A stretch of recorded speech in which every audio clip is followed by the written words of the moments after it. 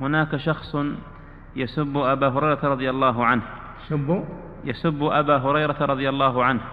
فماذا يجب علينا فعله تجاهه؟ الإنكار عليه ونصيحته.